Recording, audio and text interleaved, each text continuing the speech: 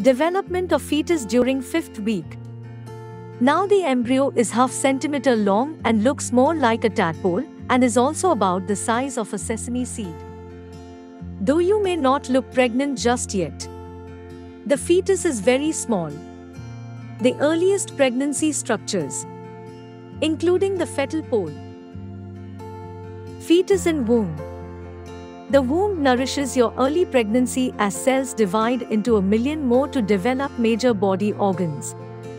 However, it is the genes that tell how your baby will look like. Like a blueprint, your baby's attributes are already programmed, which happens at the earliest stage of conception specifically, when sperm meets egg. Ultrasound Week 5 is the earliest week that you might be able to hear your baby's heartbeat during a transvaginal ultrasound. Because it is still so tiny, a fetal Doppler device can pick up the heartbeat.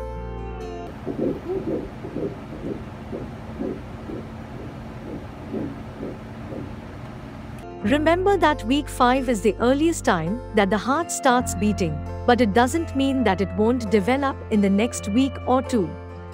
If the fetal pole yet to be visualized, a repeat ultrasound is performed in one or two weeks. Stay tuned for next video.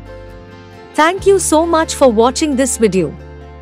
For more information about your baby development and to double your joy and happiness, install our pregnancy tracker application from the store. And also you can check the link in description.